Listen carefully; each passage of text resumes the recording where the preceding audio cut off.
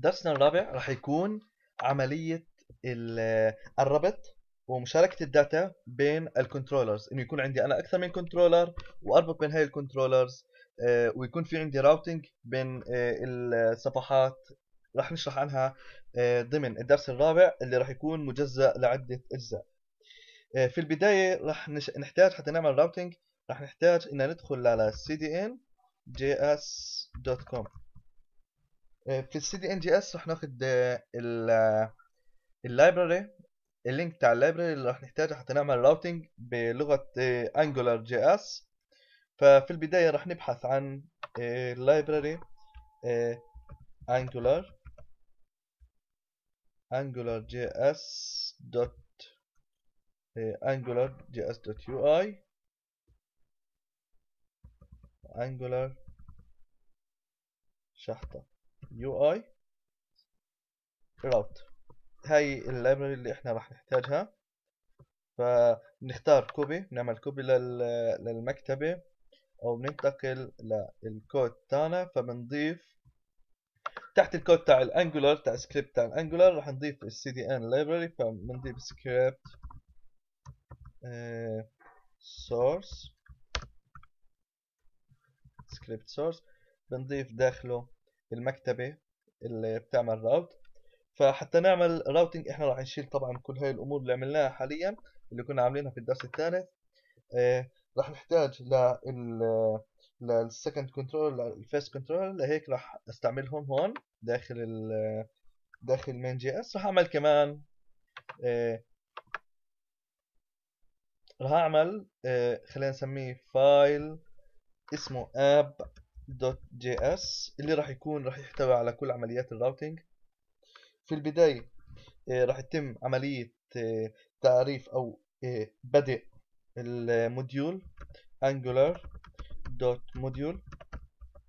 آه، سمينا ال module على سبيل المثال نسميه my app بدنا نعطيه هالمرة راح نبعث له parameter اللي هو خلينا نسميه dependency. إشي بيعتمد عليه فراح نبعث له UI dot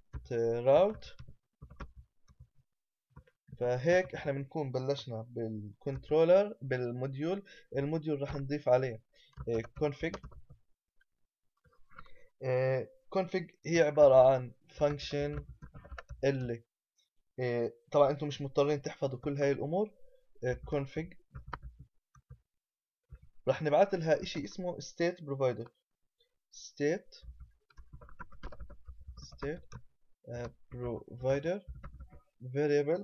آه، state provider اللي هو آه، من خلاله إحنا بننتقل من state ل state. فراح نعمل كالتالي.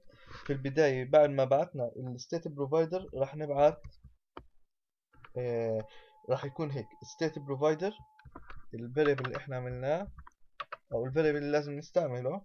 dot آه، state.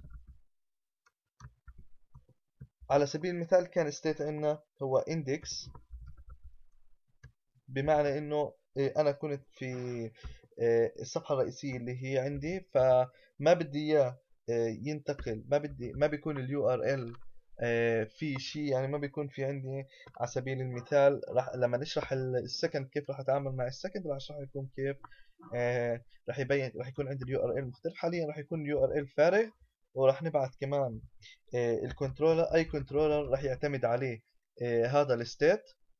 فال controller تاعنا هون راح نعتمد عليه هو ال first controller اللي إحنا عاملينه في ال main JS. first controller حتى نختصر اسمه as first حتى نتعامل معه بعدين حتى نتعامل معه ك first وراح نبعت كمان إشي اسمه template URL شو ال view هون إحنا مثل ما حكينا ال AngularJS بيعتمد على آه على بيعتمد على ال MVC فشو ال view اللي راح أبعته مع هذا ال controller راح يتعامل معه هذا ال controller first.html طيب شو ال first.html حاليا مش موجود عندنا. راح نقوم في بنائها. sorry آه، كان هون لازم أعمل هيك.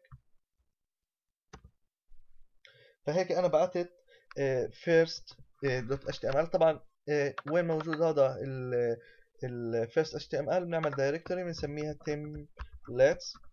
آه، okay داخل ال- داخل ال directory templates بنضيف new file html file بدنا نسميه first dot html وعشان بالمستقبل راح نستعمل كمان آه، كمان view راح نعملها اسمها second. dot html okay. في راح نشرح في الدرس ال- في الفيديو القادم كيف إنه نتعامل مع ال first HTML مع ال templates أو مع ال state provider كيف إنه تمت العملية وكيف اشتغل على هذا الشيء. لكن في قبل ما أنتقل للدرس القادم خلينا أعدل على ال على ال على ال index بحيث إنه ال index ما بيلزم يكون فيه كل هاي الأمور. آه، بيلزم فقط أو خلينا إحنا نحفظ هاي الأمور حتى ننقلها ل حتى ننقلها داخل ال HTML إل first HTML وال second HTML ففي البداية راح أضيف آه، إشي اسمه آه، UI view. UI view. UI view هو عبارة عن Angular آه، tag اللي بيعتمد على ال state provider element. شو بيكون معطينا state provider بيظهر داخل ال UI view.